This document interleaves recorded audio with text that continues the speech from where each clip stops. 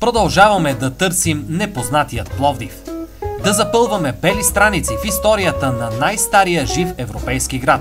Гледайте следващия филм и се включете в телевизионния фестивал Непознатият Пловдив с оценки, знания, идеи. В канала ни в YouTube може да намерите още над 70 филма от нашата поредица.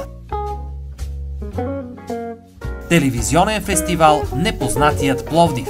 А сега гледайте!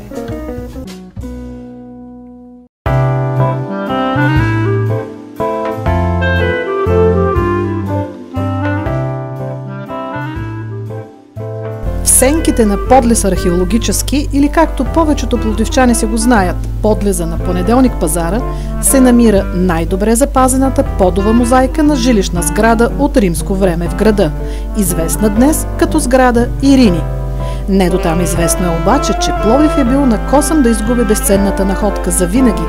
Археолозите я спасяват буквално с телата си. Как тя оцелява до наши дни и как кръщава целият археологически обект, ще разкажем в поредния епизод на Непознатия Пловдив. Наш събеседник е художник-реставраторът професор Елена Кантарева-Дечева, чието професионален път е тясно свързан с красотата, която се разкрива пред нас. През 80-те години, когато аз бях студент в художествена академия, тук е, имаше една много голяма реконструкция на централна градска част е, на Пловдив, когато се изграждаха булевардите и подлезните съоръжения. Точно в този период се откриха и по-голямата част от сградите с мозаични подове и много други археологически обекти. Бях впечатлена от тези красиви мозайки, които излизаха. А, и наистина, може би не случайно, това оформи мой интерес към а, мозайката. Аз учих реставрация в художествена академия. Не случайно избрах да се дипломирам и да специализирам с реставрация на антични мозайки.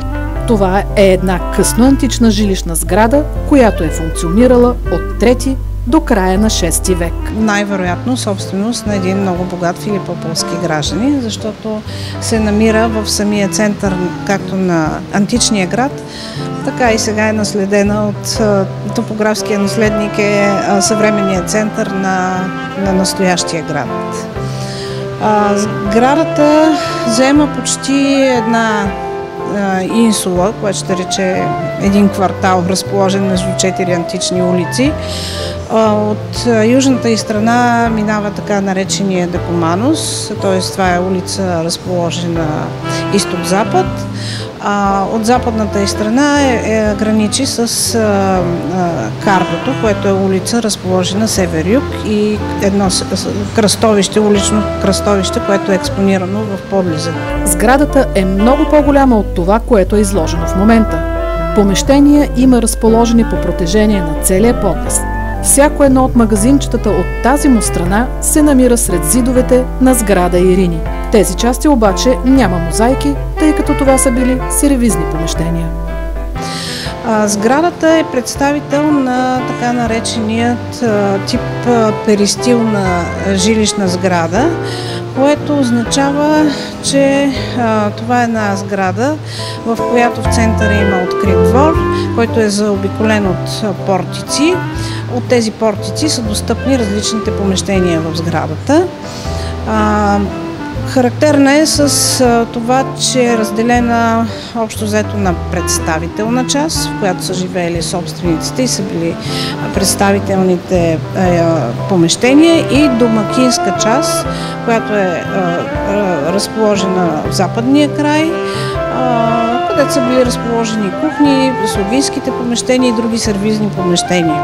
В момента се намираме в представителната част на сградата, в която всички помещения са наслани с подове мозайки. Тази част има два строителни периода като а, за първия строителен период са характерни на ранните мозаични подове и това е така наречения триклиниум или а, помещението, а, гостното помещение, в което а, са приемали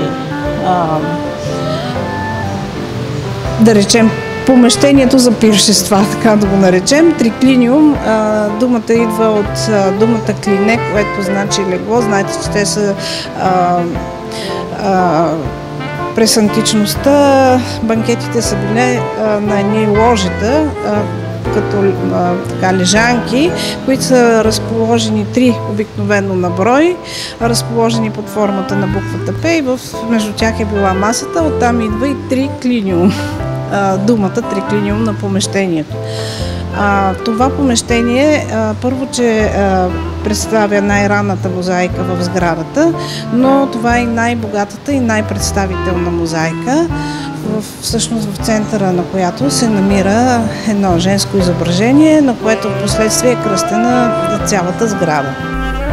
Освен в кръстница на сградата, красивата Ирини се превръща и в нейна спасителка – в началото на 80-те години, когато се прокопават подлезите по днешния боливар Цар Борис III и улица Гладстон, се бърза със строителството. Античните находки не се котират особено пред комунистическата власт и когато строителите разбират, че са се натъкнали на нещо ценно, заповедта е незабавно да се продължи с разчистването на обекта.